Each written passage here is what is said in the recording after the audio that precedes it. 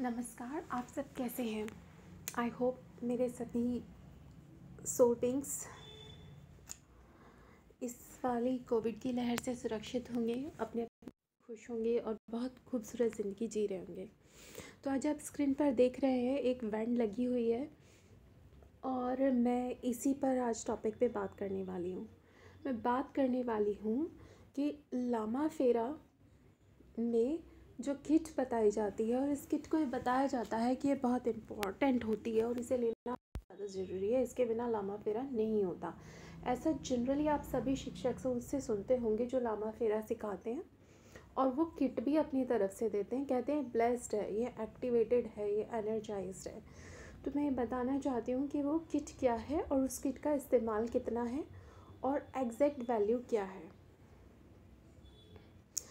तो शुरुआत मैं करती हूँ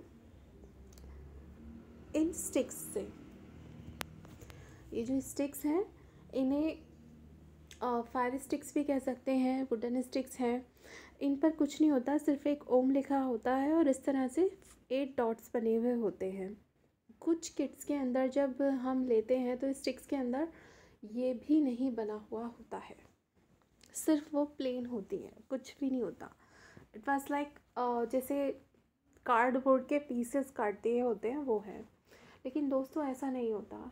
जब हम लामा फेरा के टेम्पल्स में के अंदर जाते हैं तो हमें ये जो स्टिक्स होती हैं, ये चार स्टिक्स जो मिलती हैं, ये बहुत ही अच्छे क्वालिटी मटेरियल की बनी हुई होती हैं। वो मटेरियल जो होता है, वो एक बेहतरीन क्वालिटी की लकड़ी का होता है, जैसे सागौन की लकड़ी है, शीशम की लकड़ी है। और इसका इस्तेमाल किया जाता है। लेकिन हमें समझना ज़रूरी है कि इसका प्रयोग क्यों होता है। लोगों को पता नहीं है इसका प्रयोग क्यों होता है, बस इसका वैल्यू बता देते हैं कि इसके बिना ज़रूरी नहीं है। ये बॉडी के नीचे इसलिए लगाई जाती हैं जिससे कि किसी पर्सन को जो मदर अर्थ के साथ उसका कनेक्शन है, वो थोड़ी देर के लिए डीलिंग कर दिया जाए। मतलब धरती से आपके संपर्क को अवरोधित कर दिया जाए, जिससे कि जो आपके अंदर हम ऊर्जा डाल रहे हैं, लामा फेरा सेशन के दौरान मरीज़ के अंदर या छात्र के अंदर वो रुक जाए। लेकिन दोस्तों, मज़े की बात यह है कि लामा फेरा के अंदर ही एक ऐसा सिंबल है, जब उसे हम ड्रॉ कर देते हैं तो वो ऑटोमेटिकली ही किसी भी पर्सन को धरती से संपर्क को पूरी तरह तोड़ देता है। तो इस स्टिक की ज़रूरत नहीं है। अगर आपको शो ऑफ़ करना है, दिखावा करना है, या एक पब्लिशन खींचने के लिए करना है तो बात और है, लेकिन जनरली इन स्टिक्स की कोई ज़रूरत नहीं है।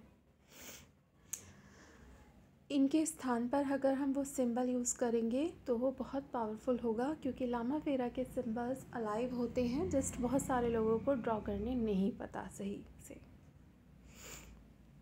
फिर बात करते हैं स्कैच्यू माला की। स्कैच्यू माला जो होती है इसे ध्यान से देखें। इस पर इस तरह के कार बने हुए होते हैं और ये आ, कोई बनाता नहीं है। ये नेचुरली इसके अंदर होते हैं। ओरिजिनल स्कैच्यू माला जो है अब टेन थाउज़ेंड रुपीज़ से स्टार्टिंग प्राइस है। तो सोचिए जो दस हज़ार रुपये से जिस माला का स्टार्टिंग प्राइस है और ये स्पेशली बाहर से आती है क्योंकि ये वाला जो पेड़ है, ये वुड का पेड़ इंडिया के अंदर नहीं होता है।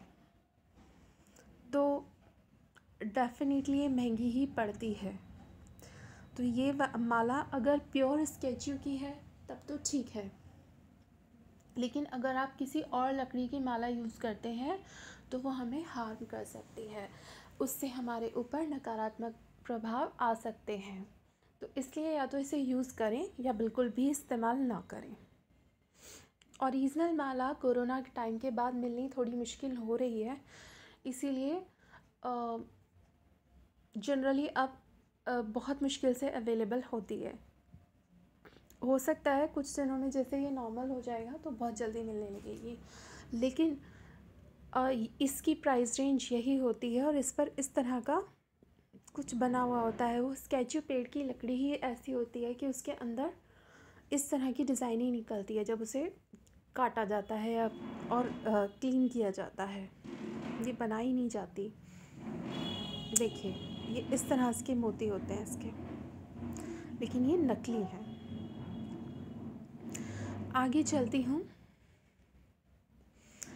स्केचू माला के इस्तेमाल पे। स्केचू माला का इस्तेमाल रोगी को के चारों तरफ़ घुमाने के लिए, एक प्योरीफिकेशन का सेंस बनाने के लिए किया जाता है।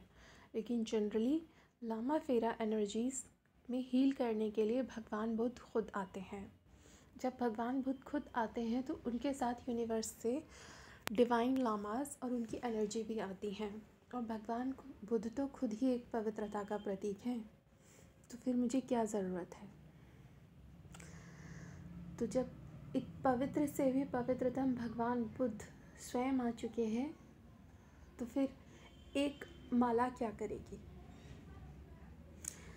फिर आते हैं हम बर्निंग स्टिक के ऊपर, या फिर इसे कह सकते हैं वॉन्ड लामा फेरा वॉन्ड तो ये जो लामा फेरा वॉन्ड होती है, ये तांबे की बनी हुई होती है।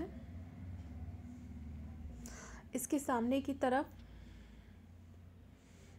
एक क्लियर क्वार्ट्स का शार्प पॉइंटेड लगा होता है, और एंड में गोल लगा हुआ होता है। इस वैंड के अंदर पूरी तरह से सेवन चक्रा क्रिस्टल्स भरे हुए होते हैं। तो ये बहुत ही एक ब्यूटीफुल काइंड ऑफ़ एनर्जी होती है।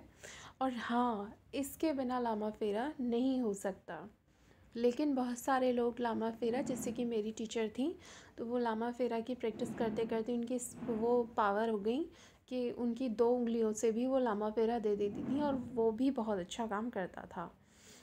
इसका इस्तेमाल इसलिए होता है क्योंकि only one healing energy Lama फेरा या फिर हुनकारा हलीम, इनमें ही हम वॉन्ड का इस्तेमाल करते हैं बर्निंग स्टिक का इस्तेमाल करते हैं। क्यों? क्योंकि हमें और कट करना होता है। जब और काटा जाता है तो उसके लिए क्लियर क्वार्ट्स जैसा शार्प पॉइंटेड क्रिस्टल का वॉन्ड चाहिए होता है। उसके बाद लामा फेरा के सिंबल्स, क्योंकि खुद अलाइव हैं, बहुत पावरफुल होते हैं तो उनको भी ड्रॉ करने के लिए हम इसका ही इस्तेमाल करते हैं। तो मेन जो चीज़ है, वो यही है। और ये भी, इसकी भी प्राइस रेंज में बता दूँ, ये फिफ्टीन हंड्रेड रुपीज़ से कम की नहीं आती है। अगर कोई इससे कम का दे रहा है दैट मीन्स ओरिजिनल नहीं है। और आप चेक करें, वो अलग ही वॉन्ड भारी भारी लगता है। फिर मैं आती हूँ गाउन के ऊपर। एक मरून कलर का गाउन होता है जिसे पहना जाता है। मरून कलर का गाउन इसलिए पहना जाता है जिससे कि नकारात्मक ऊर्जा का हम पर कोई असर ना आए। लेकिन जब आप लामा फेरा की प्रैक्टिस करते हैं तो आपको पता होना चाहिए कि लामा फेरा का अभ्यास करने वाले सभी लोग लामा फेरा देने से पहले एक मेडिटेशन करते हैं, जिसमें हम डिवाइन वस्त्र, यानी कि दिव्य वस्त्र का आह्वान करते हैं। तो जब हम दिव्य वस्त्र का आह्वान करके उसे धारण कर लेते हैं, अपनी सुरक्षा कवच को इतना मज़बूत बना लेते हैं तो फिर उसके बाद हमें वो मरून कलर का गाउन पहनने की क्या ज़रूरत है? और सबसे महत्वपूर्ण बात मैं आपको बता दूँ, लामा फेरा सीखने से हम लामा नहीं बन जाते। लामा फेरा बुद्धिस्ट मोनार्ची से निकली हुई एक हीलिंग टेक्निक है, जो बहुत पावरफुल होती है। इससे हमारा प्योरीफिकेशन होता है, हम हेल्दी होते हैं पॉजिटिव होते हैं। लेकिन इसका अर्थ ये नहीं है कि हम लामा बन जाते हैं। एक लामा की ज़िंदगी कितनी जटिल होती है, ये देखने के लिए, जानने के लिए हमें कभी उनके ही साथ समय बिताना होगा। वो कितने अनुशासित होते हैं और कितने बैलेंस्ड होते हैं। वो हमारी तरह देर तक सोते नहीं हैं, वो सूर्योदय से भी बहुत पहले जाग जाते हैं। अप्रॉक्स तीन बजे वो लोग उठ जाते हैं। उसके बाद साधनाएँ करते हैं, अपने सारे काम खुद करते हैं। संसार में कितनी भी उथल पुथल हो, लेकिन उनके भीतर शांति ही रहती है। और ये एक कड़े अभ्यास से ही संभव है।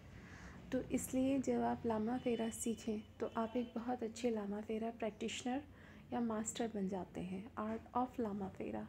लेकिन आप खुद को कभी ये ना समझें कि आप लामा बन गए हैं। या कोई आपसे कहे कि मैं लामा हूँ, क्योंकि मुझे लामा फेरा आता है तो वो नहीं है। एक बहुत ही सेक्रेट पोजीशन होती है लामा उसकी। तो आई थिंक ये वीडियो आज आपकी हेल्प करेगा कुछ समझने के लिए और मैं आगे और भी वीडियो बनाऊँगी। कंक्लूज़न ये आ रहा है कि ये आ, किट ख़रीदना इतना ज़रूरी नहीं है। इंपॉर्टेंट ये है कि आप एनर्जी को कितने अच्छे तरीके से इस्तेमाल करना जानते हैं उस पर कॉन्सेंट्रेटेड हैं और मेडिटेटेड हैं। आप जिस ऊर्जा का आह्वान कर रहे हैं उसके साथ आप कितने अच्छी तरह से कनेक्ट हो चुके हैं। और उसमें आपकी श्रद्धा कितनी है? तो ये है लामा फेरा का मेन स्रोत। अगर आपको हुनकारा हलीम भी सीखना है तो उसके लिए भी यही बैंड इस्तेमाल होती है और सिर्फ़ इसी की ही ज़रूरत होती है। फिर उसके बाद मैं बात करती हूँ, लोग रिंग की बात करते हैं बाउल्स की बात करते हैं सिंगिंग बाउल्स की रिंग्स की। तो ये सब जो है बुद्धिस्ट टेम्पल्स के सामान होते हैं। और हीलिंग करते हुए हमें इनकी ज़रूरत नहीं है। मोस्ट इंपॉर्टेंट चीज़, जब आप इन चीज़ों को अपने घर लाते हो तो इनका एक प्योरीफिकेशन लेवल होता है। हमें वो फॉलो करना पड़ेगा। इनकी रोज़ सफ़ाई करनी होगी, इन्हें धूप दिखानी होगी, और उसके बावजूद भी कई बार एनर्जी अटक कर रह जाती है तो उसकी भी एक प्रॉपर क्लीनिंग होती है। वो सब फॉलो करना पड़ेगा। धुनी करना भी ज़रूरी है तो it is very important to take responsibility I hope it will help you all thank you very much God bless you